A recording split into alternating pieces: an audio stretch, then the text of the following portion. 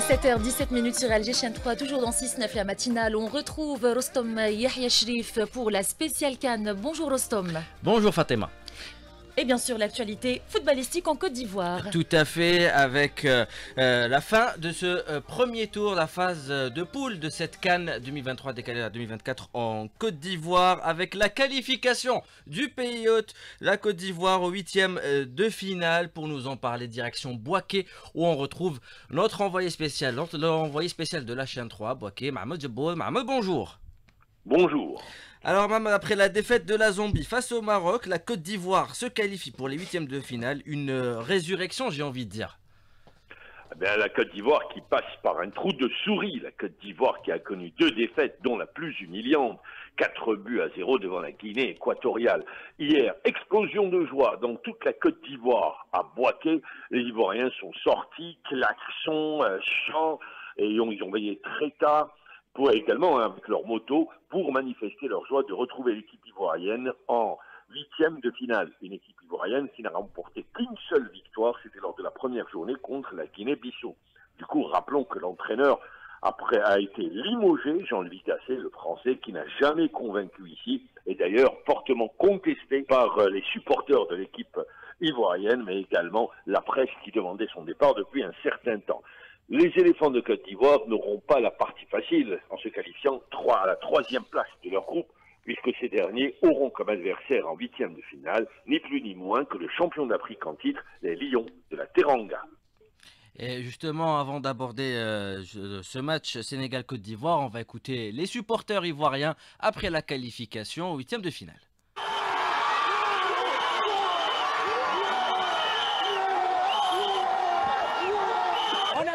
Pays. Actuellement, là, on est qualifié.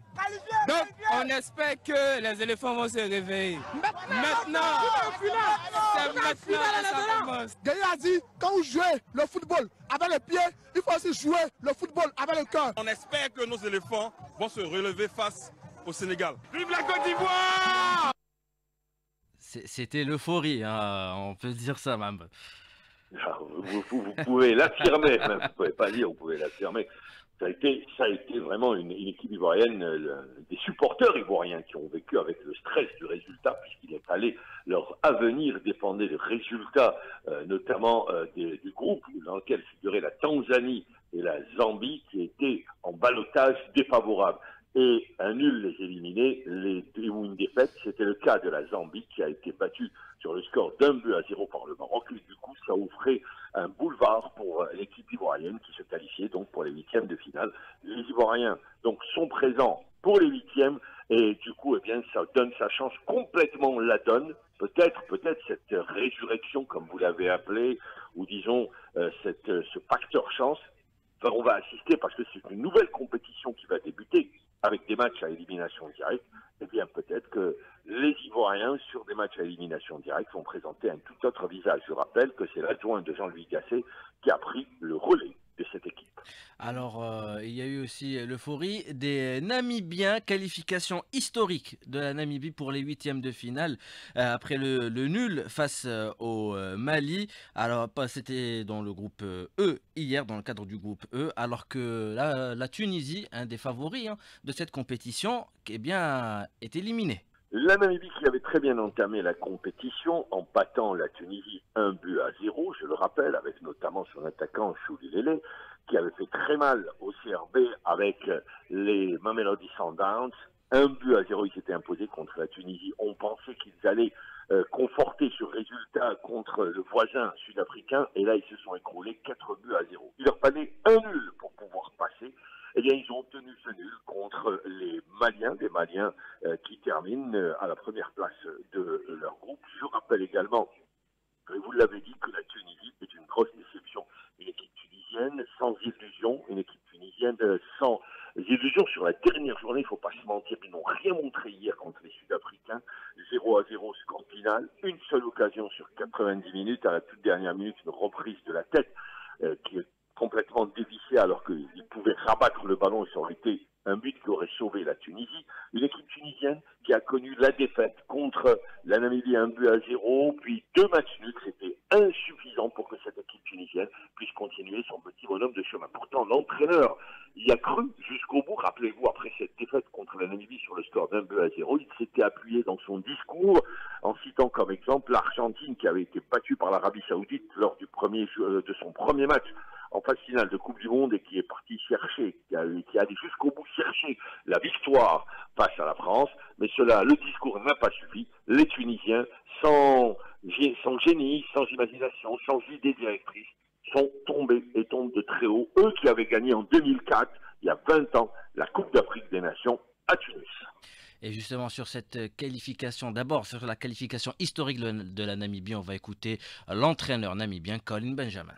at this moment I, am honestly just proud À ce moment-là, je suis juste fier d'être namibien, fier de, fier de mes joueurs qui ont écrit l'histoire, fier de leur mental, de leur caractère et leur désir de gagner, de créer cet exploit. C'est immense ce qu'ils ont fait ce soir. Personne ne pensait qu'on allait passer au prochain tour, tout en pensant surtout à combien de buts on, on allait encaisser et au combien on est une équipe faible. C'est historique pour notre pays qui connaît beaucoup de problèmes en ce moment, c'est de l'espoir pour notre peuple. Si les Brave Warriors peuvent unir tout un peuple comme on a fait, ça montre que en tant que pays, le sport peut nous unir. Euh, à présent, euh, après cette déclaration de l'entraîneur euh, namibien Colin Benjamin, on va écouter, après l'élimination de la Tunisie, son sélectionneur Jalal Qadri. المرحله الاولى ترشحنا كان الهدف نتاعنا الدور نصف النهائي ما كناش موافقين ما نجحناش فيه تحملوا مسؤولياتنا malheureusement pour cette compétition avec tous les préparatifs tous les signes étaient positifs avant la, compétition. On a, a trouvé euh, un problème énorme sur le plan tactique surtout le premier match. Euh, on a essayé de résoudre ça. Euh, malheureusement on n'a pas abouti à la fin de cette compétition. On assume notre responsabilité et il assume pleinement sa responsabilité, Jalal Qadi, puisqu'il a annoncé sa, démission euh, de la tête de, la barre technique tunisienne C'est le cinquième entraîneur euh, qui euh, quitte la barre technique d'une sélection nationale après l'élimination dès le premier tour de, la Cannes. Après Jean-Louis Gasset qui a été limogé, Jamal Belmadi, Chris Hutton du Ghana et Tom Senfier de la Gambie. Eh bien voilà, vous les avez cités, vous les avez donnés. C'est ça, c'est le lot euh, des entraîneurs. Hein. Quand vous ratez votre premier tour de Coupe d'Afrique des Nations, vous êtes tenu par des résultats, par des objectifs. Les Tunisiens pensaient au moins passer ce premier tour et atteindre, comme le SMIC, disons-le, hein, pour l'entraîneur, c'était atteindre les huitièmes de finale. C'est pas passé, donc il quitte. Et ça a été le cas pour les autres entraîneurs, cassés pour l'humiliation. Le Ghana, rappelons-le, parmi les favoris éliminés au premier tour, il était tout à fait normal. La Gambie, c'était la fin d'un cycle également. L'Algérie également à la fin d'un cycle. Et donc, c'est les entraîneurs qui ont dû quitter leur poste de sélectionneur, soit en démissionnant, soit en étant limogés. Eh bien, à la fin de ce premier tour, euh, Mohamed, euh, on va faire un premier bilan avec euh, le Sénégal qui confirme son statut de favori, le tenant du titre. Le Sénégal a tenu son rang, trois matchs, trois victoires. L'équipe sénégalaise, championne d'Afrique en titre, une équipe sénégalaise qui montre que le travail finit toujours par payer, ou paye actuellement, puisque le Sénégal reste la meilleure nation africaine sur les différentes sélections. Une nouvelle fois, avec un entraîneur, une stabilité au niveau de l'encadrement, des centres de formation eh qui produisent et qui donnent du talent, une équipe nationale avec des trentenaires qui ont pris de l'expérience et qui ont gagné encore en plus en maturité, avec également des jeunes qui arrivent très bien formés et qui intègrent à dose homéopathique euh, l'équipe première ou, qui, euh, ou qui évolue à l'image dans l'équipe première en étant titularisé à l'image de Lamine Camara et je ne vais pas tous les citer.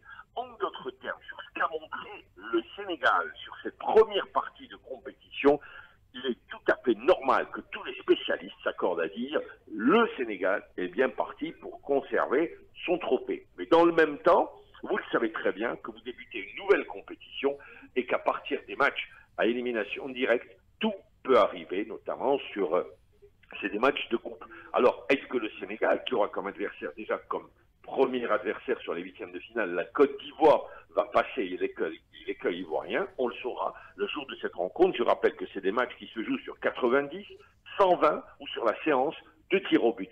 Donc à partir de ce moment-là, ça change quelque peu la donne. Mais sur la force de cette équipe sénégalaise, elle l'a montré tout au long du tout de cette première partie de tournoi, en marquant à chaque fois, chaque match, les Sénégalais ont marqué avec une ligne offensive très forte, une défense très bien organisée ou une animation défensive très bien organisée. Je rappelle qu'il y aura eu une petite, une, une pierre dans, dans, dans, la machine, ou disons un grain de sable dans la machine sénégalaise.